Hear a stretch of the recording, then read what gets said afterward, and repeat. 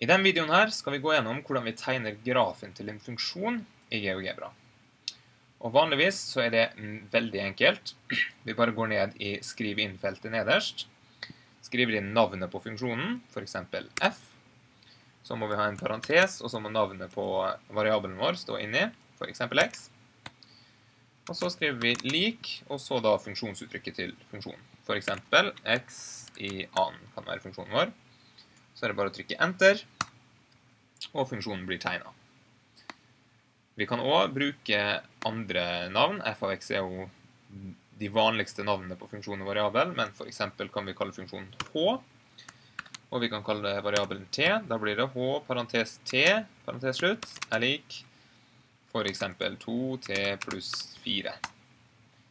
Så det går også fint med andre variabelnavn enn x, og andre funksjonsnavn enn f. Så vanligvis veldig enkelt å tegne sånne grafer.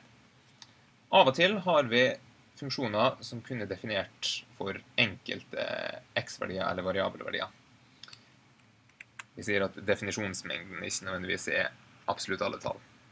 Og et eksempel på det, det har vi fra S1-eksamen våren 2011.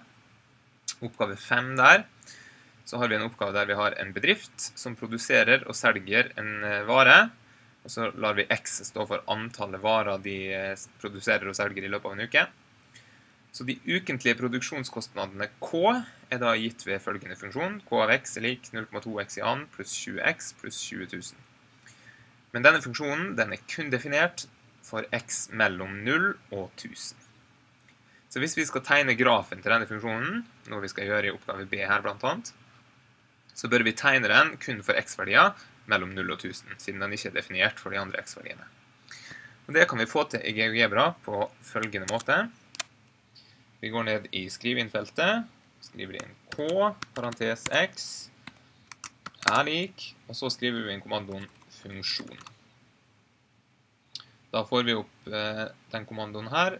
Kan vi trykke på den, så ser vi at det er tre ting vi må skrive inn eh, i disse hakeparentesene. For det første trenger vi funksjonsuttrykket.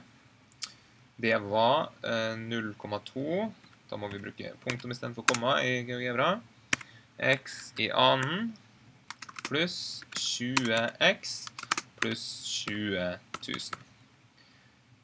Startverdi for x er da den minste x-verdien vi ønsker at grafen skal tegnes for, og den var i vårt tilfelle 0. Og sluttverdi for x blir da den største x-verdien vi vil at grafen skal tegnes for, i vårt tilfelle 1000.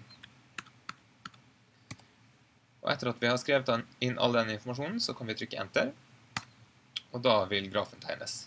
Nå ser vi ikke grafen akkurat eh, nå, men det er fordi at vi må fikse litt på koordinatsystemet vårt.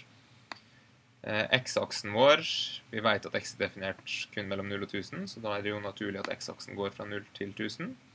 Så la oss ordne det først. Sånn. Og så må vi da bare zoome ut på y-aksen til vi ser grafen. Konstantleddet til funksjonen er jo 20 000, så vi må antageligvis zoome et godt stykke ut før vi ser noe. Skal vi se. Og der dukker den opp, og la oss få med hele greia. Der har vi den. Og da ser vi at den grafen, den begynner ikke før på x er lik 0. Og når vi kommer til x er lik 1000, så slutter den. Så den er kun tegnet for definisjonsmengden ved hjelp av denne kommandoen funksjon.